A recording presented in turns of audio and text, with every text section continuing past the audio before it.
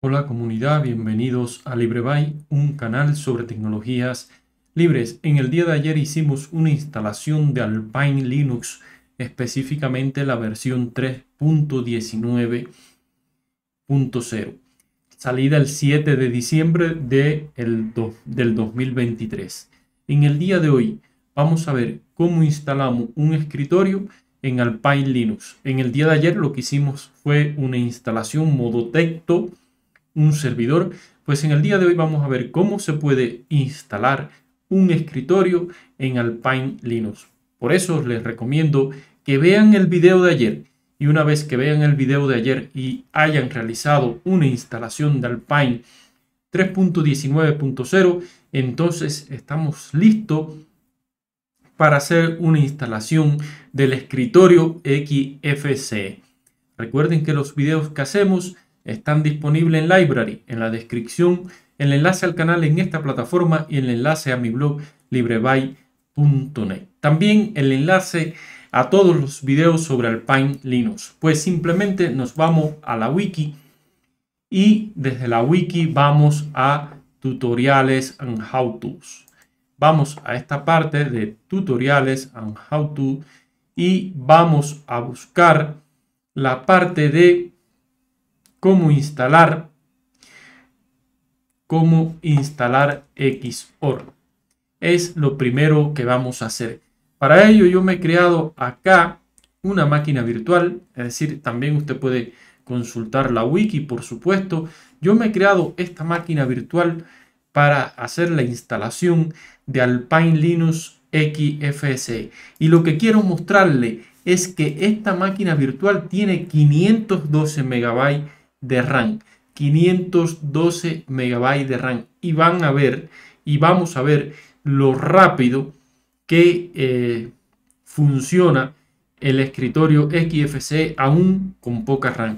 Esto nos da la medida de que esta distro es ideal para computadoras antiguas, además de que existe una versión para arquitectura de 32 bits. Pues acá tengo esta máquina virtual, vamos a iniciarla. Eh, inicia, como les comentaba ayer, inicia sumamente rápido Alpine Linux. Solo se demora un poquito obteniendo eh, la dirección IP del, del DHCP y también sincronizando la hora. Acá vamos a loguearnos con el usuario root y vamos a ejecutar el setup Alpine, no, Setut Alpine no, Setut XOR. Vamos a ver si se nombra así para no, perfecto, XOR base. Y esto me va a instalar y configurar un servidor gráfico, el servidor gráfico X. Una vez que hayamos configurado el servidor gráfico, vamos a la parte de ya, muy rápido la instalación y la configuración. Vamos a la parte de escritorio y acá vamos a ir, bueno, acá tenemos otras opciones, otra documentación, pero en este caso yo voy a ir a la parte de escritorios y en este caso vamos a ir a Desktop Environments XFCE y lo único que tenemos que hacer es añadir estos paquetes pero antes de, añadir, esos paquetes que están dentro del repositorio eh, community, debemos activar este repositorio. ¿Cómo lo vamos a hacer? Pues editando el fichero etc apk apk eh, repositories. Acá activamos este eh, repositorio community pero acá, bueno, lo tenía, community. Eh, no sé por qué ah, está como duplicado. Uno duplicado acá. Vamos a cerrar aquí para que por el momento está duplicado. Entonces sí, eh, no había que habilitarlo por lo que veo. Quizás... Eh, bueno, vamos acá a dejarlo Vamos a dejarlo como está. APK at X, vamos a ver, XFC XFCE4, XFCE4, añadimos, vamos a ver si está, sí, perfecto, podemos añadirlo sin ningún problema. Vamos a añadir además la terminal de XFC, lo estoy haciendo paquete a paquete, pero usted puede eh, agregarlo en una sola línea. Solo ejecutando apk y el nombre de los paquetes. Ya añadimos XFCE4. Ahora vamos a añadir la terminal de XFC y un Display Manager. En este caso, Light Display Manager GTK Gritter. Esto, por supuesto, nos va a mostrar la pantalla de bienvenida. Y lo próximo que, debemos hacer es, como dice acá, vamos a ver, quiero ponerlo acá, eh, em, quiero ponerlo acá. Bueno, voy a detener el video un momentico para cerrar el signal que, que está notificando a cada rato. Entonces detengo el video, cierro el signal y continúo.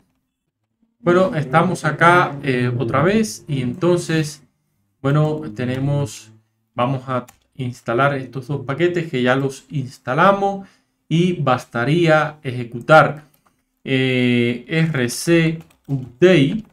Esto es para que me muestre el display manager una vez que reinicie. Como pueden ver, ya lo agregué Acá eh, vamos además a iniciar, pero antes de iniciar es necesario aquí añadir estos paquetes para que usted pueda, como dice acá, apagar y reiniciar la máquina desde la interfaz gráfica.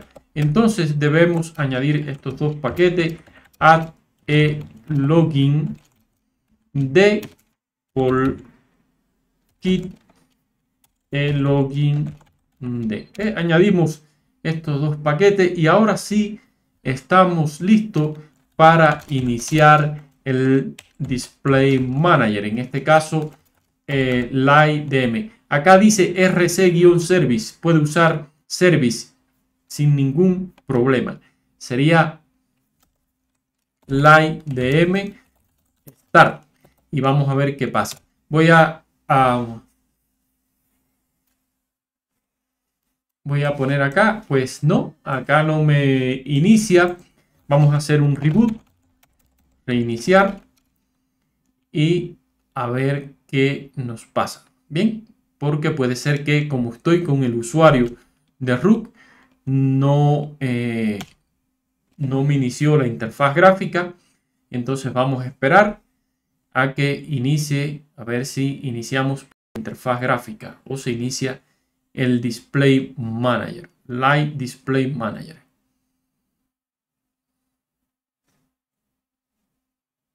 Acá está, acá tenemos eh, el LightDM, que es el Display Manager, aquí tenemos el usuario y aquí podemos loguearlo. Recuerden que eh, la máquina virtual solo tiene 512 MB de RAM y nótese lo rápido que inicia. Nótese lo rápido que inicia y lo bien que funciona eh, XFC solo con 512 MB de RAM.